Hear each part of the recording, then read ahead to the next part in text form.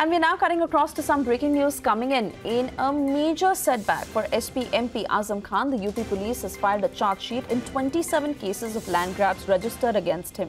The Rampur MP was book, booked for allegedly forcibly occupying agricultural land in 2006 for construction of Muhammad Ali Jauhar University.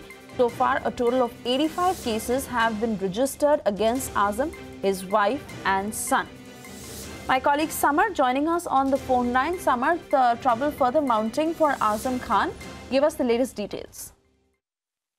Exactly, it's a major, major setback for Azam Khan. UP police has filed a charge sheet against in 27 cases of land grabs against former UP Minister Azam Khan. The Rampur MP was booked for allegedly forcibly occupying agricultural land in 2006 for construction of Muhammad Ali Jauhar University. At least 27 cases were filed against him by farmers in Rampur. And I must tell you that then circle officer of Rampur, Ajay Hassan, was also named in the charge. So far, a total of 85 cases have been registered against Azam, his wife, and son. If I talk about the overall tally, then I must tell you that Azam, 88 cases have been registered against Azam, of which 70 charge sheets have been filed, while Abdullah, the son of Azam Khan, a total of 43 cases have been registered, in which 42 charges have already been filed, while his wife, Dr. Fatima, Against against her, 40, 32 cases have been filed, in which 32 all charge sheets have been filed. Yes, it's a major setback for Azam Khan as more charge sheets are going to uh, other in the coming time. Yes.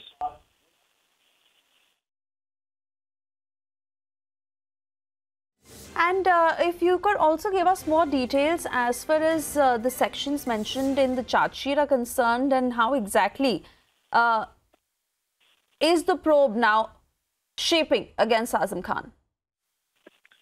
Actually, all the cases are mainly related to land grab. As uh, during his tenure, he did all the, the land uh, land grabs in his uh, design in his area Rampur. So many farmers were upset again uh, with him, and as I, as I told you, 27 cases were registered by the farmers themselves.